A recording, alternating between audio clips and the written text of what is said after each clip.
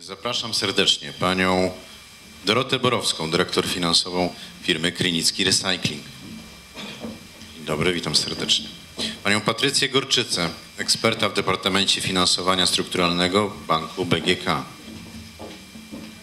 Pana wiceprezesa zarządu Giełdy Papierów Wartościowych, pana Grzegorza Zawadę, pana Filipa Gorczycę, wicedyrektora w Zespole do Spraw Rynków Kapitałowych PWC. Nie jesteście państwo rodziną, tak? Ustaliliście. Pana Andrzeja Długosza, wiceprezydenta największej organizacji pracodawców RP. Pan Andrzej do nas dojdzie pewnie za moment. Pana Edmunda Cumbera, dyrektora Departamentu Finansowania Projektów Inwestycyjnych Banku PKO Banku Polskiego. Jest pan wiceprezydent pracodawców RP. Mówiłem właśnie, że jest pan przedstawicielem największej e, organizacji pracodawców w Polsce. Ja pozwolą sobie Państwo, że usiądę razem z Wami, bo tak naprawdę chodzi o to, żeby ten panel był interaktywny i jeżeli rzeczywiście będą jakieś pytania, to nawet w trakcie można przerywać. E, e, Mamy niecałą godzinę. Zacznę od, od pytania dotyczącego dlaczego giełda, po co giełda? Jesteście Państwo jedną z dwóch firm notowanych na rynku głównym. Rozwijacie się bardzo dynamicznie. Myślę, że oczy całego regionu są skierowane właśnie w Waszym kierunku. Myślę, że ten dobry przykład, y, ale też pewnie jakieś wątpliwości, może jakieś y, negatywy, które pojawiają się też, y, albo jakieś bariery, które Was y, irytują. Jak Pani mogła opowiedzieć taką success story Krynicki Recycling, y, chętnie myślę, że posłuchamy. Oczywiście dzień dobry Państwu. Jestem przedstawicielem y, firmy Krynicki Recykling. Firma istnieje od 1998 roku. Y, Zaczynała jako mała spółka y, prywatna. Właścicielem był pan i dalej jest Adam Krynicki, natomiast przez to, że weszliśmy na główny parkiet, wiadomo, że struktura jest już rozwodniona. Mm, Spółka zajmuje się oczyszczaniem y, stłuczki szklanej. Tak na wstępie opowiem w ogóle y, o co chodzi, może nie wszyscy Państwo wiedzą czym się zajmuje, więc y, oczyszczamy stłuczkę szklaną. Jest to stłuczka pochodząca z butelek, słoików, to co my wyrzucamy, to kupujemy, wyrzucamy. My jako spółka to y, zbieramy, skupujemy od firm komunalnych, y, innych takich zakładów, które się tym zajmują skupem szkła i odpadów i to przerabiamy. Przerabiamy na czyste szkło. Szkło jest dostarczane, oczyszczone szkło jest dostarczane do hut szkła. To szkło jest surowcem dla produkcji opakowań szklanych. Y, Spółka zaczynała od bardzo prostych takich linii technologicznych, właściwie ręczno-mechanicznych. Y, Jednak bardzo ym, restrykcyjne, y, restrykcyjne zasady hut co do jakości stłuczki spowodowały, że spółka zaczęła myśleć przyszłościowo, co zrobić, żeby biznes był rentowny. Y, I tu się zaczęła y, właśnie taka myśl trochę technologiczna też. Y, Rozpoczęliśmy takie badania. No, na razie z początku były to oczywiście w myślach jakoś na papierze. Później pan prezes e, Adam Krynicki stwierdził, że idziemy na rynek. Na razie zaczynaliśmy od rynku New Connect. W 2008 roku zrobiliśmy pierwszą emisję. Łącznie na New Connectie było, y, były trzy emisje. Z New Connecta pozys- pozyskaliśmy 16 milionów 600. Także był to bardzo duży kapitał. To nam pozwoliło na e, zakup e, technologii. Oczywiście to było właśnie to, o czym Państwo mówiliście wcześniej. Wkład własny potrzebny do e, zrealizowania takiej inwestycji. E, W 2010 roku e, zadebiutowaliśmy na głównym parkiecie. Mm, Łącznie y, pozyskaliśmy z rynku prawie 40 milionów. To spowodowało, że y, spółka y, w tym, zacznijmy od 2008 roku, jak weszła na New Connect, miała przychody rzędu 10 milionów, 10,5 miliona, ponad 10,5. Natomiast w tej chwili nasze roczne przychody z 2014 roku to 55,5 miliona, także pięciokrotny wzrost. I to na pewno ym, nie zrobilibyśmy tego kredytami. E, Zrobiliśmy to poprzez giełdę, ale również równolegle, równolegle każdy projekt inwestycyjny był finanso- współfinansowany z projektów dotacyjnych. Także tutaj mieliśmy strukturę finansowania ułożona wkład własny, projekt dotacyjny y, plus kredyt bankowy. Rozwinęliście się Państwo bardzo dynamicznie z 10 na 50 milionów obrotu. Jak to też wpłynęło na zmianę organizacyjną, pojawienie się na rynku kapitałowym, bo są wymogi, trzeba raportować wyniki. No, teoretycznie jest to naprawdę sporo roboty, patrząc z perspektywy firma prywatna nie musi się tym zajmować. Jak to w środku Tak, organizacji? rzeczywiście. No, początki wiadomo nie są łatwe, ale wszystko jest dla ludzi. Y, Z początku korzystaliśmy z firm doradczych. Natomiast w tej chwili taką obsługę relacji inwestorskich robimy sami. Co bardziej trudne transakcje, które trzeba opisać, to korzystamy z usług y, kancelarii prawnej. Natomiast y, to nie jest nic strasznego.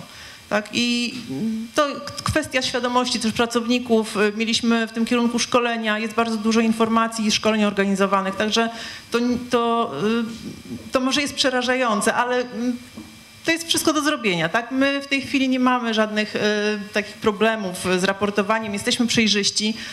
Ym, generalnie ja, ja się zajmuję też właśnie obsługą relacji inwestorskich, więc na początku też siedziałam z ustawą, z rozporządzeniem, co trzeba raportować, czego nie trzeba. Y, Na wyciągnięcie ręki miałam prawników oczywiście, tak?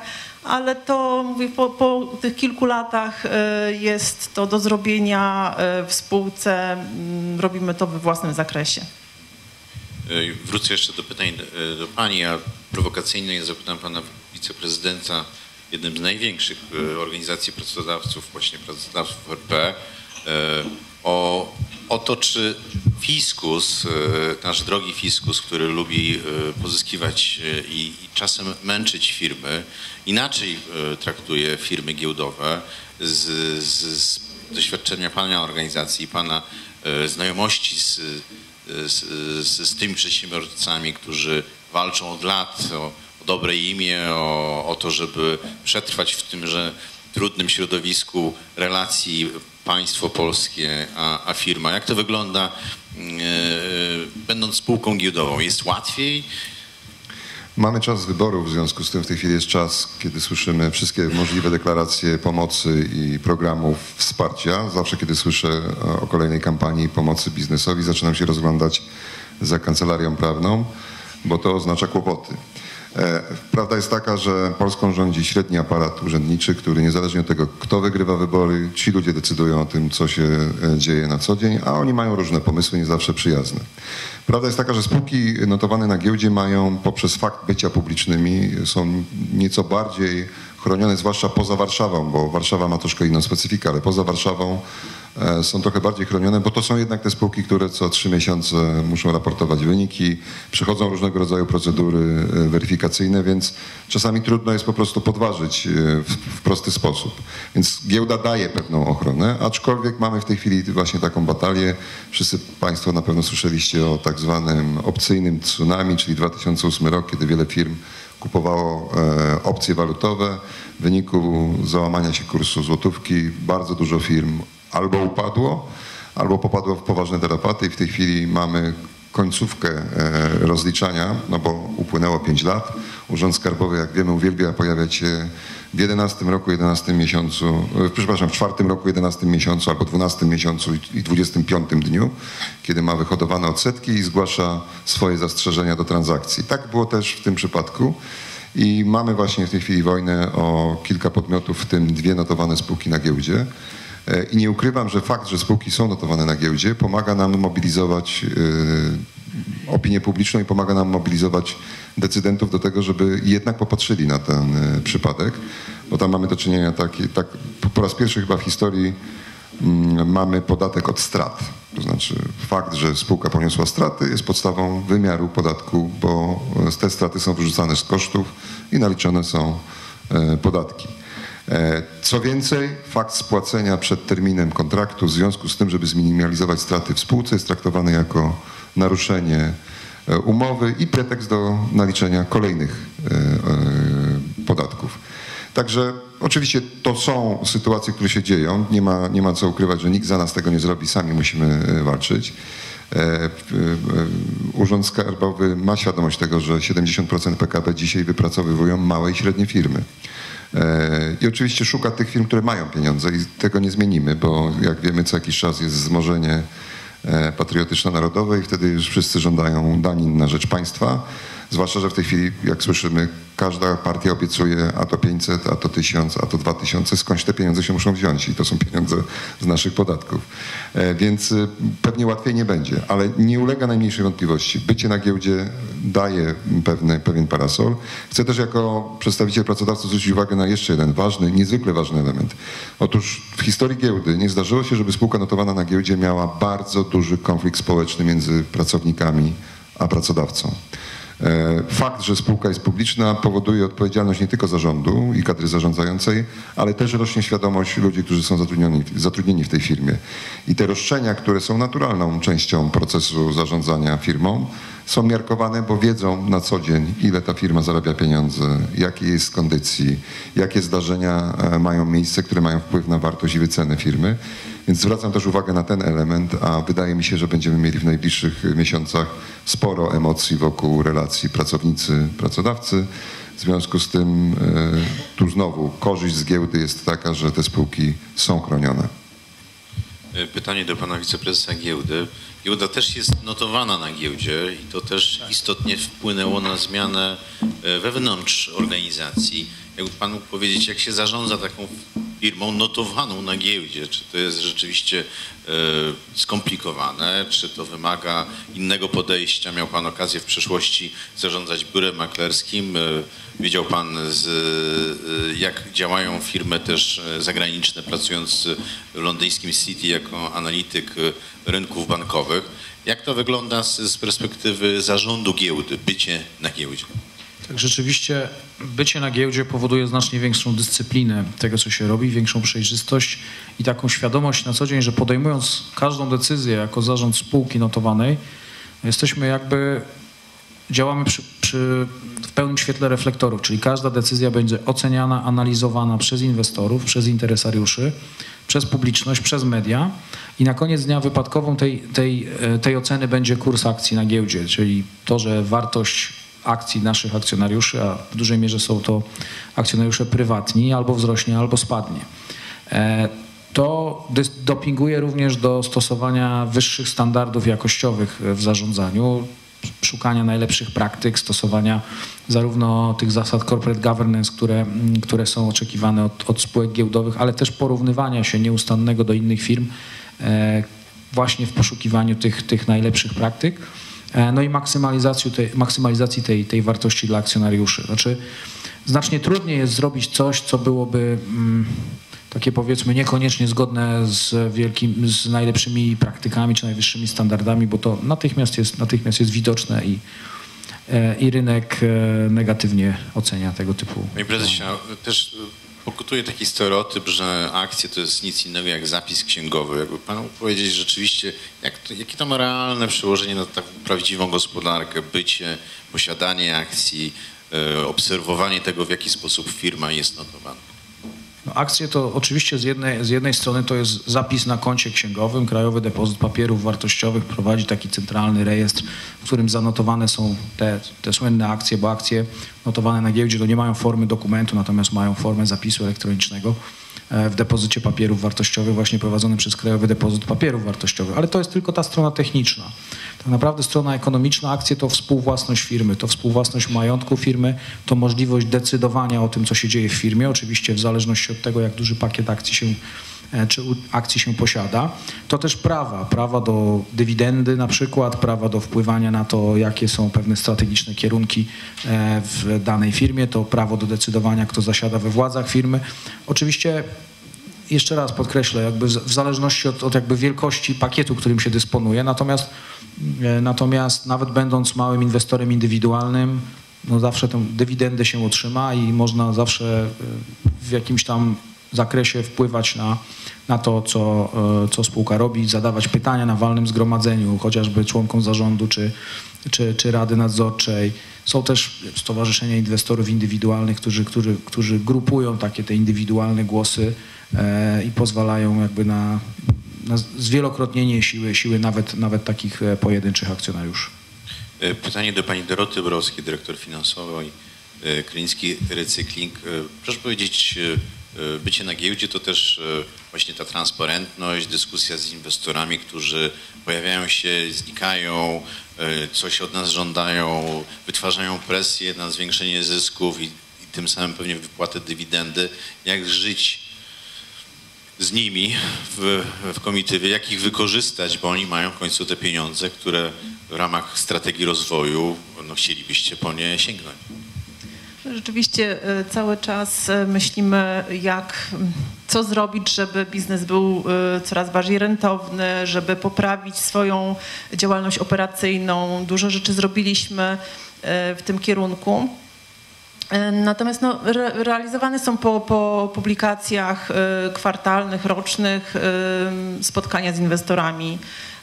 Zarząd odpowiada na pytania, tak, spotykamy się z nimi. No na pewno to jest to, że, że nie, nie możemy stać w miejscu, tak? Zawsze się myślę, że trzeba dalej się rozwijać, co zrobić, żeby, y, żeby być jakby o, o krok wyżej, tak?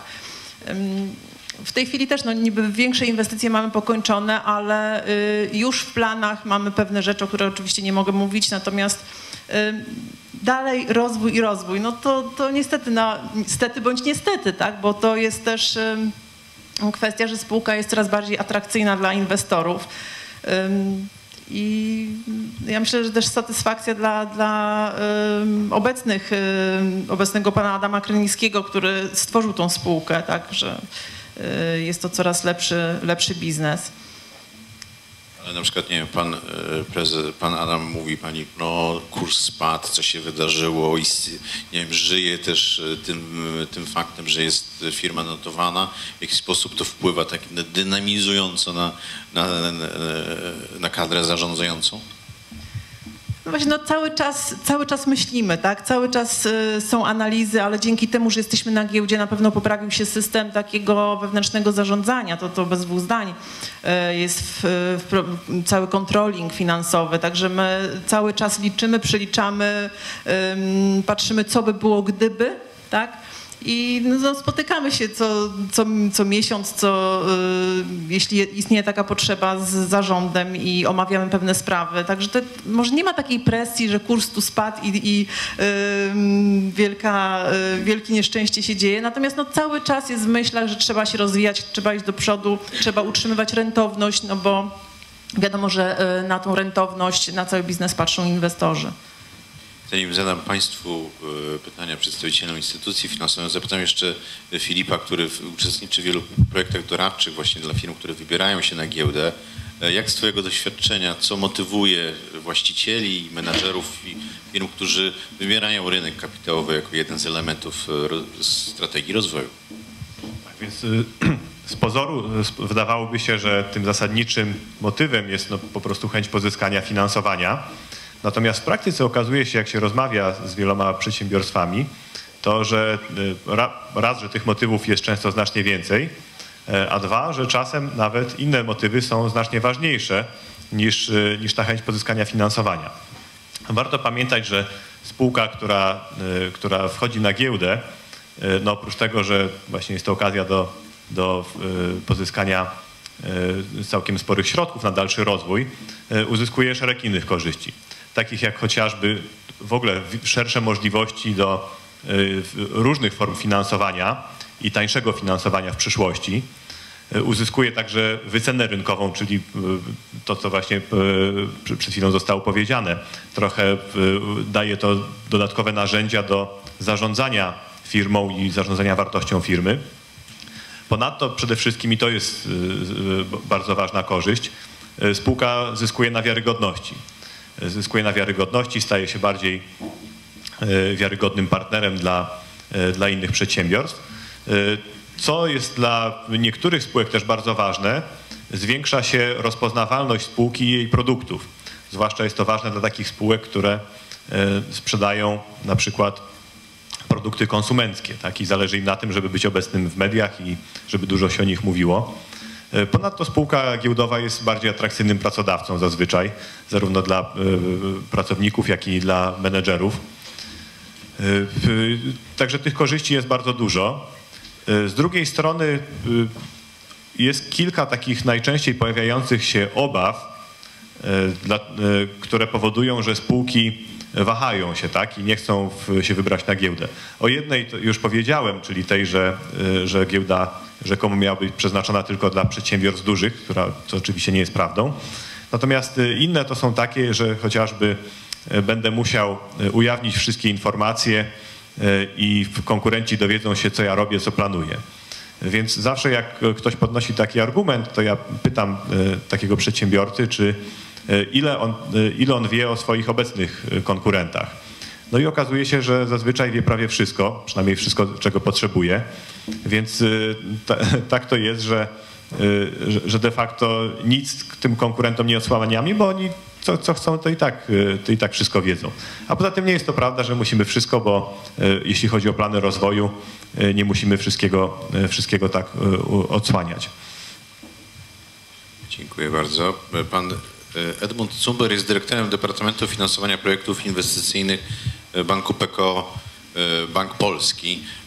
Teoretycznie jesteście konkurencją dla rynku kapitałowego, no bo w końcu jesteście beneficjentami niskich stóp procentowych, możecie dawać relatywnie tani kredyt bankowy. Czy konkurujecie, czy uzupełniacie się? Jak, Nie, jak to myślę, wygląda? że zdecydowanie uzupełniamy się, współpracujemy z rynkiem kapitałowym. Zależy nam na tym, żeby nasi klienci, kredytobiorcy potencjalni e, byli e, notowani na giełdzie, żeby mieli e, właśnie tą zwiększoną przejrzystość, żeby mieli dostęp do kapitału, nie tylko kapitału w formie akcji, ale również i obligacji. Ułatwiamy dostęp do tego kapitału, bo nasz dom maklerski nad tym właśnie pracuje.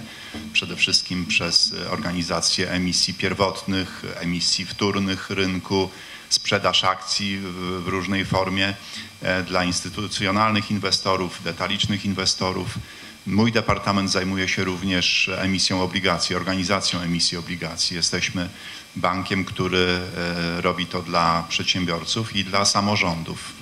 W sektorze samorządowym szczególnie jesteśmy mocni, bo prawie połowa emisji, które są dokonywane na polskim rynku przez samorządy, to e, przez nasz bank jest to e, robione i tutaj obsługujemy zarówno bardzo małe samorządy, gminy, miejskie, wiejskie, miasta, województwa, powiaty, całe spektrum. Także jesteśmy w tym i pomagamy tym samorządom wchodzić na giełdę, czyli na rynek katalist, po to, żeby były właśnie e, zauważane przez inwestorów, po to, żeby mogły kolejny raz skorzystać z tej formy pozyskania kapitału. Natomiast kredyty bankowe nie mogą zastąpić kapitału i stąd nasza współpraca z giełdą jest e, konieczna i na zasadzie właśnie współpracy, a nie rywalizacji. Kredyty bankowe idą w ślad za odpowiednim poziomem kapitału w firmie. E, jeżeli tego poziomu nie ma, no to bank albo nie daje kredytu, albo bardzo wysokie stopy stosuje. Więc e, tutaj nie ma żadnej sprzeczności. I dostrzegamy właśnie w tym, że firmy giełdowe zachowują się jakby w sposób bardziej odpowiedzialności, to co pan, bardziej odpowiedzialny, to co pan prezes powiedział, że nawet pracownicy takich firm giełdowych, którzy niekoniecznie muszą być akcjonariuszami, ale dostrzegają w fakcie, że ich firma jest notowana na giełdzie, że publikuje raporty, że te wyniki cały czas są na bieżąco znane e, ogółowi publiczności, inwestorów, e, bardziej się identyfikują z tą firmą, są skłonni zaakceptować jakieś wyrzeczenia albo szybciej dogadać się, czego przykładem jest spółka giełdowa, Jastrzębska Spółka Węglowa, która w zeszłym tygodniu, to jest nasz klient również e, kredytowy i dogadała się, zarząd tej spółki dogadał się z pracownikami, E, co do dość bolesnych, a nawet można powiedzieć bardzo bolesnych cięć e, w płacach dla tych pracowników. A więc e, nastąpiło to w sektorze w dodatku takim, który jest postrzegany za sektor bardzo uzwiązkowiony i bardzo twardo walczący o swoje prawa. I tutaj związkowcy zaakceptowali, że muszą być pewne wyrzeczenia po to, żeby firma e, poradziła sobie z e, no, trudną sytuacją, która wynika przede wszystkim z niskich cen węgla, więc oni to rozumieją i, i to zaakceptowali. Także takie jest nasze stanowisko. Jeszcze zadam takie podchwytliwe pytanie, które żeśmy się oczywiście nie umawiali. Czy klienci prywatni y, są łatwiejsi w obsłudze, czy klienci ze spółek Skarbu Państwa? No, jeżeli to jest duża spółka Skarbu Państwa, no to, to jest, y, to, to mo mogę powiedzieć, że może być trudniejsza, prawda, w obsłudze, bo, bo, bo różne względy musimy wyważyć. Natomiast prywatni z kolei e, no, mają mniejszy może sentyment do PKO jako banku, e, który w jakiejś mierze jest e, ciągle państwowym bankiem. I tutaj musimy walczyć o nich, e, no, stosując po prostu, oferując jak najlepszy produkt, jak najlepszą obsługę. W tym sensie oni są może trudniejsi, ale za to może bardziej tacy e, wdzięczni, jeżeli to e, no, uznają, że jest dobra oferta i będą zadowoleni z tej obsługi. Więc a państwowi no mamy, mamy oczywiście tak, to, jest, to nie jest łatwy klient państwowy. Tak. No, skoro klienci i obligacje, to pytanie do pani e, Patrycji Gorczycy. E, Bank BGK ma ofertę obligacyjną. Jakby pani mogła powiedzieć yy, więcej szczegółów na ten temat. Y, jasne. Ja y, reprezentuję bank y, BGK i zajmuję się w banku właśnie emisją obligacji, zarówno tutaj, tak jak pan Edmund Zumber, zarówno dla samorządów, jak i dla przedsiębiorców. Natomiast chciałam krótko przybliżyć w ogóle, co to jest ten rynek obligacji, jak duży on jest, mm, bo padło tutaj wcześniej przez pana wiceprezesa kwota mianowicie bodajże 60-40, tak? I to 60% to było finansowanie bankowe, a rynek e, kapitałowy to 40% jako docelowe, e, docelowe, e, docelowy procent. W tej chwili to u nas w Polsce jest niestety poniżej, poniżej 20%, czyli rynek kapitałowy dostarcza kapitału dla przedsiębiorstw w poniżej 20%. I co to oznacza? To oznacza, że jeszcze mamy dużo, dużo, dużo do zrobienia. E, ale jednocześnie y, to nie jest tak źle, mimo że jesteśmy po y, Słowacji, po Chorwacji, tak jak tutaj pan Jacek, y, Filip Korczyca mówił wcześniej. Natomiast ja pamiętam czasy, kiedy ten procent był dużo niższy niż 10%, więc to, to rośnie i, i cieszę się z tego. E, co do samego rynku obligacji, to mamy tutaj wyemitowanych aż 142 miliardy złotych. To jest dużo. Mm, na rynku katalist e, znajduje się 60, e, ponad 60 miliardów, e, czyli jest to rosnący udział rynku katalist. Widzimy, że oczekiwania inwestorów, którzy nabywają obligacje na swoje portfele, są takie, żeby te, to notowanie na rynku katalist było ponieważ to właśnie zwiększa przejrzystość i transparentność. I chciałam się też odwołać tutaj do wypowiedzi pani Doroty z, z firmy Krenicki Recykling, która e, opisała sytuację jakby mm, edukacyjną, jak to wyglądało od podstaw, że najpierw mieliście Państwo autoryzowanego doradcę, a później sami już y, nauczyliście się wykonywać te obowiązki informacyjne. Y, I to jest fantastyczny przykład, ponieważ y, tak samo jest przy tych obligacjach. Obligacje mogą być swego rodzaju początkiem, do rynku, wstępem do rynku kapitałowego, ponieważ Państwo emitując obligacje spotykacie się z, z tymi inwestorami, którzy, którzy później nabywają Państwa akcje i może to być takie pierwsze spotkanie e, i nauczenie się takiego rynku kapitałowego. E, dlatego e, zachęcamy jak najbardziej do tego rodzaju finansowania. Jeśli chodzi o samą praktyczną stronę, to wygląda to mniej więcej tak, że mamy tutaj takie aspekty e, prawne, gdzie państwo e, podejmują uchwały dotyczące emisji, e, przy której przy, przy takiej uchwale oczywiście możemy państwu pomóc sformułować te, te, tego typu dokumenty. Później dochodzą elementy dokumentacyjne, kiedy formułujemy umowę emisyjną i dokumenty memorandum informacyjne i pozostałe dokumenty, dokumenty, które będą potrzebne do na roadshow, czyli na spotkania z inwestorami. I o, ostatni taki element e, z, e, z, całego tego, z całej tej układanki to jest właśnie już w tym momencie marketing i e, spotkania z inwestorami. I wtedy jest, jest to, ta cała układanka się domyka, ponieważ spotykacie się Państwo na spotkaniach bilateralnych jako emitent z inwestorami instytucjonalnymi, przekonujecie ich do swojej wizji, do celu emisji i tym samym pozyskujecie finansowanie. To może, tak jak powiedziałam wcześniej, być wstępem, takim outre do, do rynku kapitałowego, do emisji akcji, do IPO.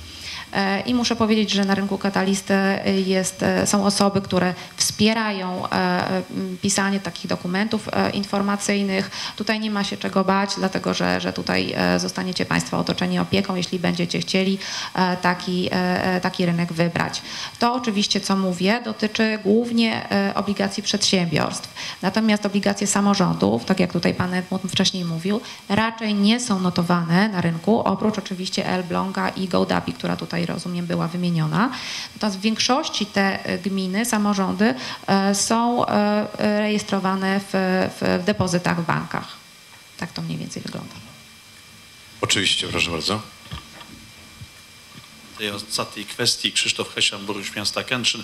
Ja chcę mm, takie małe pytanie i informację o Pana ocenę z tego dokumentu, którego jeszcze nie znam, ale na pewno zaraz się zapoznam, e, oceny tej właśnie jakby aktywności miast w kontekście i mojego miasta, bo akurat z firmą, firmą Pricewaterhouse współpracuję w pewnej dziedzinie. E, aktywności miast, tej minimalnej aktywności miast, którą Pan pokazywał, jeśli chodzi o rynek obligacji i z Pana oceny i z tego e, z tego dokumentu, jakie są podstawowe przyczyny, jakie są obawy natury finansowej, e, prawno-organizacyjnej niejednokrotnie, jeśli chodzi o, o miasta, bo przecież ten, e, ten rynek, jeżeli zobaczyć do tego pana, do pana prezentacji, to w zasadzie obejmował kilka, kilka województw, gdzie jest ten poziom zupełnie zerowy, czyli nie ma jakikolwiek E, źródeł obligacyjnych, jeśli chodzi o formowanie swojego jakiegoś narzędzia finansowego, czy przy środkach zewnętrznych, e, jeśli chodzi o Unię Europejską i tą aplikację, czy przy, przy jakichś własnych nadprojektach, e, które mogą być w ten sposób finansowane. Bardzo bym prosił Pana taką ocenę, żeby, bo, bo ja też taką mam kwestię dotyczącą i swojego miasta, i radnych, kwestia właśnie jakby ciągłej braku, wydaje mi się, właściwej informacji, edukacji w tym zakresie, szeroko rozumianej, tak? W różnych miejscach. One są u specjalistów, u państwa. Brakuje jakby takiej komunikacji, przeniesienia, e, szczególnie zrozumiałości dla tej e, sprawy, tego narzędzia finansowego u radnych, u ludzi, którzy jednak później podejmują te uchwały dotyczące takiego, a nie innego stanu budżetu finansów miasta czy każdej gminy. Więc zdecydowanie tak jest, że uważamy, że tym głównym powodem, dla którego tak niewiele y, samorządów póki co zdecydowało się na finansowanie poprzez rynek kapitałowy, jest właśnie brak informacji, brak edukacji. No i najlepszym dowodem jest właśnie to, że robimy, y, zdecydowaliśmy się na tę inicjatywę. Ona właśnie ma służyć temu, żeby ten poziom świadomości podnosić. Na pewno, na pewno też jakaś przyczyna, jedną z przyczyn jest to, że ten rynek obligacji w takiej formie, jakiej on istnieje obecnie, e, jest e, względnie młody, tak? Istnieje kilka lat. Oczywiście wcześniej też istniał i wcześniej też się samorządy finansowały przez rynek obligacji, e, ale było to jednak trochę co innego niż obecnie. No, pewnie przyczyn, przyczyn jest bardzo dużo, niektóre nawet na poziomie behawioralnym. E, które ciężko, ciężko komentować. No liczymy, że na pewno wraz z poziomem świadomości, wraz też z tym, jak e, kolejne samorządy e, będą się finansowały poprzez rynek kapitałowy, to pojawi się też inspiracja dla kolejnych i, i ten udział będzie zdecydowanie rósł. Ponadto no, jeszcze jest jedna kwestia, o której warto wspomnieć, że też przez te minione 25 lat no być może było tak, że samorządy miały trochę łatwiej, ułatwione zadanie, jeśli chodzi o pozyskanie finansowania dłużnego, bo były mniej zadłużone niż są obecnie. E, no ponadto w ostatnich kilku latach e, też jest sytuacja, która się pewnie zmieni, że ten koszt finansowania dłużnego jest, jest tak niski. Najlepszy element tego wskaźnika będzie już też determinował, jeśli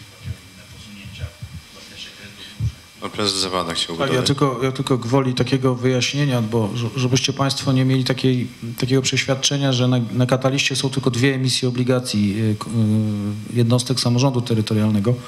Tych jednostek samorządu terytorialnego jest 19 i są to od miasta stołecznego Warszawy, które wyemitowało ponad 2 miliardy złotych, po miasto Trzew, które wyemitowało 2 miliony złotych. Także naprawdę E, Tak, tak, ale właśnie ja nie, tylko ja, ja wiem, że mówimy o tym regionie, natomiast, natomiast spoza regionu też, też są emitenci. Są to emitenci zarówno duzi, jak i, jak i emitenci mali. Także, także w sumie jest no, tych kilkanaście emisji, co jest oczywiście bardzo niedużo w skali, w skali, w skali, w skali całego kraju, natomiast jest ich no, trochę więcej niż, niż tylko te dwa. I pozwolę sobie jeszcze tutaj zareklamować mojego kolegę, który siedzi na sali, pana Dariusza Mejszutowicza. E, Dariusz jest e, ekspertem, jeśli chodzi o rynek obligacji zarówno korporacyjnych, jak i, jak i, jak i e, samorządowych. Także jeżeli mielibyście Państwo jakiekolwiek pytania teraz w kuluarach czy, czy później, to, to zachęcam do, do rozmowy z Darkiem. Darek jest naprawdę wieloletnim ekspertem w tej dziedzinie. Jest też jeszcze jeden ekspert z giełdy, który siedzi tam, jakbyś mógł przedstawić. Juri. Drugi ekspert mi się schował. Dobrze, jeśli chodzi o rynek akcji, Juri Kuchtanicz, który z kolei zajmuje się, zajmuje się tematyką e, wejścia na giełdę od strony, od strony e, pozyskania kapitału akcyjnego. Także podobnie jak w przypadku kolegi Darka, zachęcam Państwa do, do rozmów kuluarowych, tudzież do, do, do, do zebrania kontaktów i, i, i rozmów w przyszłości. Drodzy Państwo, żeby ten nasz panel nie był przegadany, to teraz bym chciał od Państwa bardzo praktyczne rady dla firm i dla samorządów, e, co zrobić, żeby więcej zarabiać, e, żeby być na giełdzie, żeby być bardziej nowoczesnym. No tak naprawdę, czy warto wejść na giełdę giełdę i dlaczego? Zaczynając od Pana Wiceprezydenta. Giełda to przede wszystkim pomysł, czyli jeżeli mamy pomysł, wiemy po co potrzebujemy pieniędzy, to warto przyjść na giełdę, bo te pieniądze są i tych pieniędzy jest dużo. Po drugie, e, te elementy, o których wszyscy wspominaliśmy, czyli przejrzystość, e, otwartość, e, gotowość do udzielania odpowiedzi na każde pytanie, a powiem tak, ten proces przygotowywania się, a potem obsługiwania wymusza na decydentach przemyślenie wszystkich obszarów, co nie zawsze jest udziałem e, przy projektach, które są robione z innych, czy finansowane z innych źródeł. Plus do tego ten element, e, który też jest ważny, bo jeżeli coś robimy, to warto, żeby świat o tym wiedział i doceniał, a giełda pozwala e, codziennie niemal być weryfikowanym w tym obszarze. Moim zdaniem dla przedsiębiorcy celem powinien być rozwój, innowacyjność, zdobywanie rynku, wprowadzanie nowych produktów. Jeżeli to będzie miał jako główny cel wytyczony i okaże się, że potrzebuje na, na realizację tego celu kapitału, to y, my pomożemy mu ten kapi- kapitał uzyskać, ale my mu nie y, załatwimy pomysłów, nie, e, my bank, prawda, nie podsunie pomysłów, co on ma robić w swoim biznesie. To raczej właśnie przedsiębiorcy muszą mieć te pomysły, a my tylko pomagamy je realizować przez dostarczenie kapitału. Takie jest moje główne przesłanie, jakie bym chciał przekazać zarówno przedsiębiorcom, jak i samorządom, bo samorządy to też w jakimś stopniu dotyczy. One też muszą mieć jakiś pomysł na to, co robić e, z tymi środkami unijnymi, zarówno własnymi środkami, jak i tymi, które mogą pozyskać z rynku kapitałowego czy z banków. Ode mnie może taka rada, co trzeba robić, na pewno przygotowywać się zawczasu i rozpocząć przygotowania odpowiednio wcześnie, bo taką mentalnością, czy powiedzmy charakterystyką y, nas jako Polaków jest to, że często zabieramy się za różne rzeczy za 5.12 i wtedy następuje taka szarża, y, no i w ciągu 10 minut, no czasem się udają takie cuda, jak wczoraj w przypadku Roberta Lewandowskiego, ale to są raczej y, rzadkie przypadki. No bardzo często się kończy, kończy, kończy to źle i to również na rynku kapitałowym, tak jak spółki na przykład niektóre, które przymierzają się do debiutu, ale de facto nic w tym kierunku nie robią i potem nagle chcą wejść w trzy miesiące i y, często albo to się nie udaje, albo udaje się nie tak dobrze, jak mogło się udać. Warto pamiętać, że wiele z takich przygotowań w, w ramach organizacji, y, które czynimy, żeby mm, przybliżyć się do giełdy i móc stać się spółką giełdową, no, niesie ze sobą wartość niezależnie od tego, czy do tego debiutu dojdzie, czy nie. Także warto myśleć długoterminowo i, i, i rozpoczynać te przygotowania odpowiednio wcześnie. Ja bym powiedział tak, przede wszystkim nie bać się i wychodzić poza takie utarte schematy. Znaczy rynek kapitałowy tylko na pierwszy rzut oka wydaje się trudny, tak jak tutaj pani dyrektor bardzo przekonująco mówiła, że może na początku to się wydaje nieco przerażające, ale, ale tak naprawdę jest, e, mówiąc po młodzieżowemu, do, do ogarnięcia. E, Na pewno należy pamiętać, że rynek kapitałowy nie zastąpi e, finansowania bankowego, nie zastąpi relacji z bankami. Jest to, jest to element uzupełniający, aczkolwiek, aczkolwiek e, konieczny e, do dynamicznego rozwoju każdej firmy. No i przede wszystkim zainwestować w to, co zawsze przynosi tak zwaną dodatnią stopę zwrotu, czyli zainwestować w wiedzę i, i w rozumienie y, mechanizmów funkcjonujących na rynku, a giełda i nasi partnerzy są od tego, żeby Państwu w tym pomóc. Z mojej strony chciałam e, powiedzieć, że bardzo ważne jest to, co na przykład tutaj się zdarzyło w przypadku e, Krenicki Recycling, że pan Adam, e, prezes, postanowił e, wypuścić swoje dziecko z rąk i pójść na rynek kapitałowy, bo często wśród przedsiębiorców, którzy stworzyli własne firmy, zdarza się tak, że nie chcą tego robić. A tutaj mimo wszystko zdobył się na to i osiągnął to, że jest w ciągłej zmianie, że ciągle się zmienia ale y, jest to spółka, która dużo czasu poświęca na to, żeby właśnie, y, y, żeby był rozwój i żeby coś się działo, żeby nie było stagnacji. Więc podziwiam po prostu tą spółkę i uważam, że to jest bardzo dobry trend. Co jeszcze może rynek kapitałowy przynieść? Ja co prawda reprezentuję bank, ale uważam, że nie można się skupiać tylko i wyłącznie, wyłącznie na finansowaniu bankowym, ponieważ e, dobra jest dywersyfikacja finansowania i taki inwestor spoza banku może przynieść państwu po prostu bezpieczeństwo w czasach trudnych. Otóż tu już większość rzeczy została powiedziana. E, Natomiast no, myślę, że e, trzeba się uzbroić w wielką energię, żeby ten cały proces e, przejść, e, ale też trzeba się zastanowić, czy, my, czy chcecie się Państwo dzielić informacjami, czy chcecie stosować te zasady, które obowiązują na giełdzie, bo jeśli nie, no to może to y, trzeba jeszcze popracować, trzeba y, dojść do pewnego y, etapu, gdzie będziecie Państwo przekonani, że chcecie się podzielić tym sukcesem z innymi. Ym, I no tyle. No. To, I tak jak było powiedziane, że to, to nie jest nic trudnego, tak? tylko, tylko po prostu no, trzeba się wcześniej przygotować, y, trzeba wcześniej poczytać, trzeba też y, skorzystać z usług y, doradców, którzy się na tym znają, a później można y, wiele rzeczy robić y, wewnątrz y, spółki.